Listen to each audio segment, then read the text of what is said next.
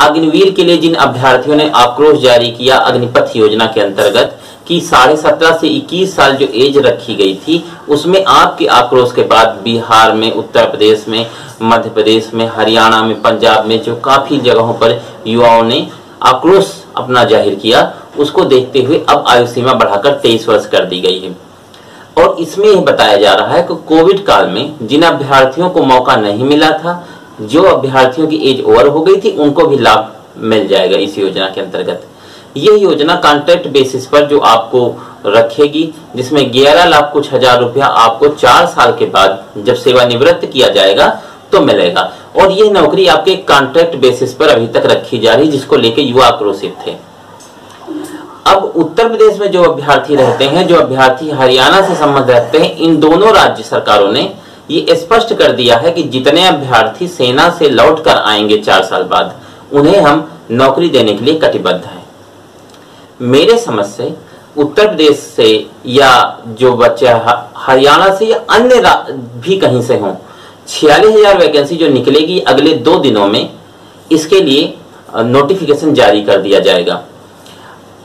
थल सेना अध्यक्ष मनोज मुकुंद नरवने जो पूर्व में थे उन्होंने भी इसका समर्थन किया है इस योजना का, और जो प्रेजेंट टाइम में मनोज पांडे हैं, उन्होंने भी इस बात को स्पष्ट कहा है कि दिसंबर महीने तक अग्निवीरों की नियुक्ति कर ली जाएगी। जिसमें लगभग चालीस हज़ार थल सेना में, तीन हज़ार वायुसेना में और तीन हज़ार नौसेना में भर्ती किए जाने हैं।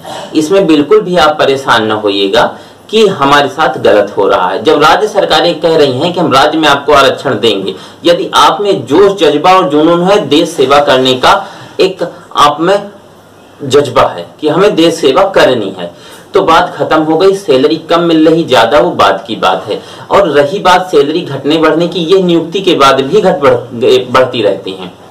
आपको जैसे आयु सीमा बढ़ाकर तेज कर दी गई है तो मेरा ये मानना है कि जो 100 परसेंट लोग भर्ती किए जाएँगे उसमें सेना एक खाका बना के दे रही है कि 25 परसेंट लोगों को हम परमानेंट कर लेंगे।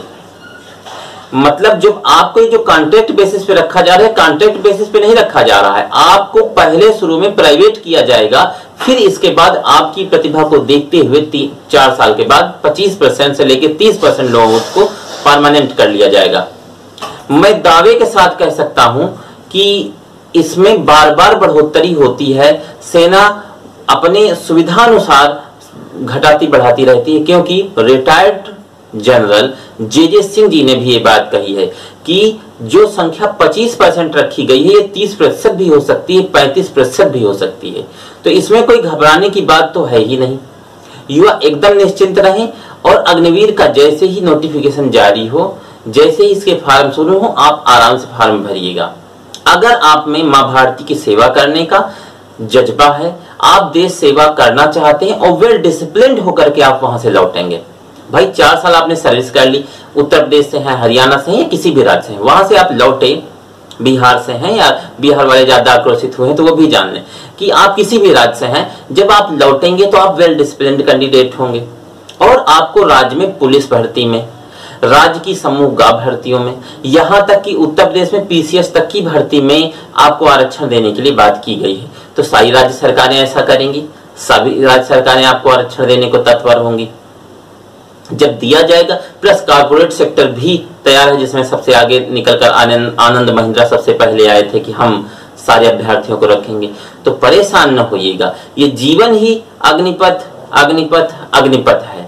तो संघर्ष बराबर बना रहता है। दूसरी बात, यदि आप 18 साल में नियुक्त होते हैं 19 साल में नियुक्त होते हैं 21 साल में नियुक्त होते हैं तो आप 25 साल की उम्र तक तो आप वापस आ ही जाते हैं सेना से। उसके बाद फिर आप बड़े आराम से साल दो साल फार्म वार्म भर कर, भरते हुए और साल दो साल में आप राज्य में फिर हो जाएँगे, कोई दिक्कत की बात नहीं। लेकिन यदि आपने सेना में ही बहुत अच्छा प्रदर्शन किया तो आप उस 25 प्रतिशत सैनिक में भी आ रहे हैं, जो कि एक बेहतर सैनिक बन रहा है। तो देखिए किसी की अफवाहों में ना आइए। यदि आप, मान लीजिए अफवाह में आते भी तो कोई दिक्कत की बात नहीं। आप आंदोलन करना चाहते हैं, आप विरोध जताना चाहते हैं तो विरोध बिल्कुल जताइए, आपका आक्रोश जताना लाजमी है। आपका विरोध बिल्कुल सार्थक है और वाजिब भी है कि हर व्यक्ति अपने भविष्य को देखता है कि हम मान लीजिए एक बार सेना में चले गए तो मन से सेना में नौकरी भी नहीं कर पाएँगे। जब हमारा भविष्य ही खतरे में होगा, और ये गलत भी है जो सरकार कर रही लेकिन सरकार ने जो कुछ किया है, मेरी समझ से वो सोच समझ के किया है। सेना के अधिकारियों ने इस पर निर्णय लिया होगा, उसके बाद ऐसा किया है।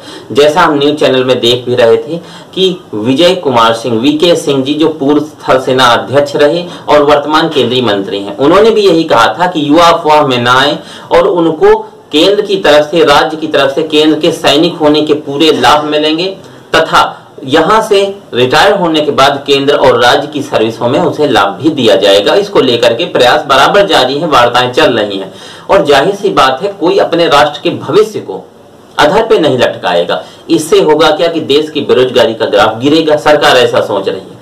युवा ऐसा सोच रहा है, या हम सभी लोग ऐसा सोच रहे हैं कि इसमें बच्चे के भविष्य के साथ थोड़ा खिलवाड़ हो रहा है, चार साल बाद उसे निकाल देंगे, फिर वो क्या करेगा? यहाँ पर एक थोड़ा धीरज रखना है। ऐसे सारे बच्चे नहीं होते जिन्हें नौकरी मिल ही जाती है। कुछ लोग ऐसे भी होते हैं जो प्राइवेट सेक्टर में रह जाते हैं। और क्या वो जीवन अपना नहीं जीते? बिल्कुल जीते हैं। ऐसा नहीं है कि जीवन अपना नहीं जीते। तो धैर्य रखिएगा। सार्वजनिक चीज़ों का यदि हम नुकसान करते हैं तो देश हमारा इतना नहीं है और हमारे देश में गरीबों की संख्या अधिक है। आप ट्रेन जला देते हैं, आप सरकारी बसें जला देते हैं, आप रोड पे उत्पाद करते हैं, कोई गरीब चोटिल हो जाता है या किसी बच्चे के लाठी लग जाती है। आज हमने न्यूज़पेपर में पढ़ा तो पता चला कि एक बच्चे की मौत भी हो गई इसमें।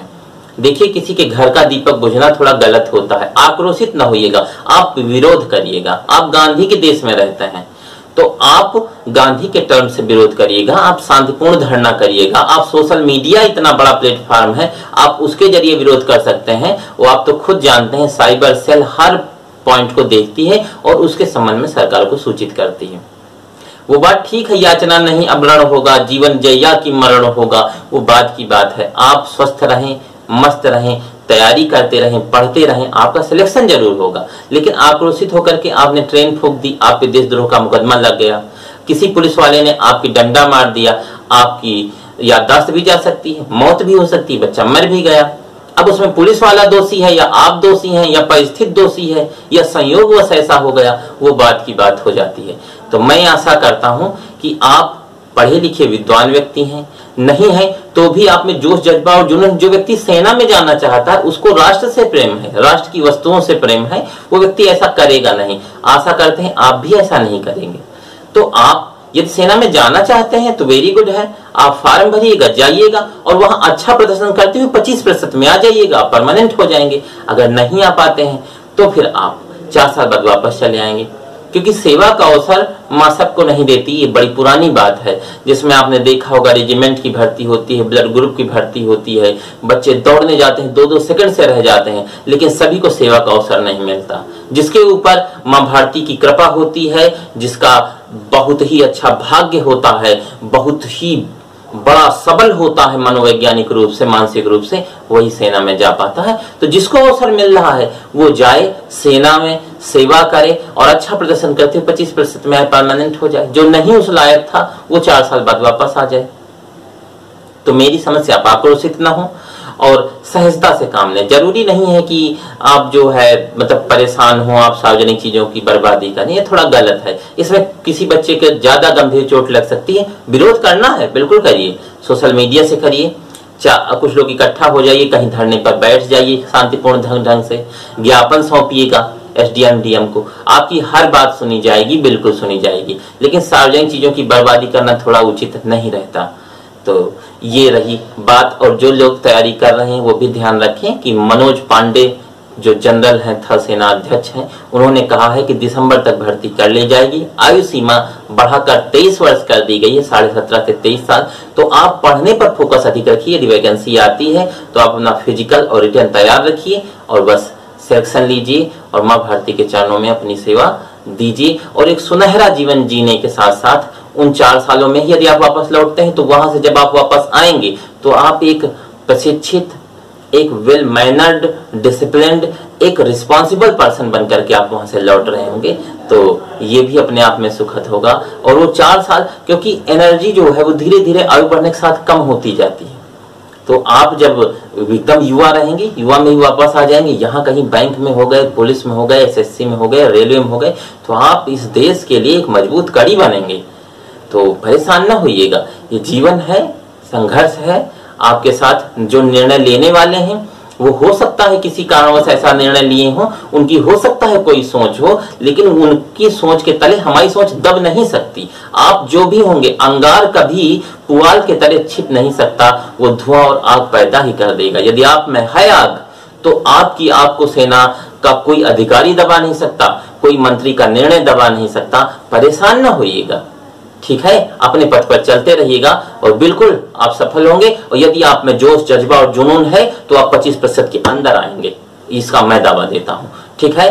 तो general J J Singh ji, general Vijay Kumar Singh ji और जनरल मनोज मुकुंद नरवाने जी और जनरल मनोज पांडे जी की जो हमने स्टेटमेंट्स पढ़े, उनसे हमें लगा कि शायद उन लोगों के शरीर पर भी चीता ड्रेस है। उन लोगों ने भी देश में सेवा की है। उन देश लोगों के कंधे पर भी तलवारें रही हैं। उन लोगों के हाथों में भी संगीन रही है। तो सेना का सम्मान यदि आप में है तो एक जनरल की बात को सुनना भी आप को चाहिए। जनरल जो बातें कह रहे हैं, मेरी समझ से हम आपसे ज़्यादा सबल और हम आपसे ज़्यादा अधिक योग्य होंगे। हम आपसे ज़्यादा जानकार होंगे स्टेटिक फ़ील्ड में। और ज़ाहिर सी बात है, उनकी स्ट्रेटेजिक थाट उनके इंटरनेशनल थाट उनके नेशनल सिक्योरिटी थाट हमसे आपसे बेहतर होंगे। तो उन्होंने जब कहा है और आग्रह किया है कि आप सार्वजनिक चीज़ों को बर्बाद न करें और युवाओं का भविष्य बिल्कुल बर्बाद नहीं होगा, इस बात का आश्वासन दिया है तो मेरी समझ से हर युवा प्रतियोगी अभ्यर्थी जो सेना की तैयारी कर रहा है, उसके मन में भी सेना के लिए सम्मान है, उसके मन में भी देश के लिए सम्मान है तो वो कभी अनडिसिप्लिन नहीं होगा। वो अनडिसिप्लिन आदमी सेना में नहीं जा सकता रेलवे में जा सकता है, शिक्षक बन सकता है आपको सेना में जाना है। तो आपको देश के प्रति सम्मान हर पहलू पे रखना है। सरकार की हर बात को मानना है सेना अधिकारी की हर बात को मानना है। तो आक्रोशित नहीं होंगे और सार्वजनिक चीज़ों की आप बर्बादी नहीं करेंगे। इसी के साथ आपको बहुत बहुत धन्यवाद। नमस्कार। जय हिंद।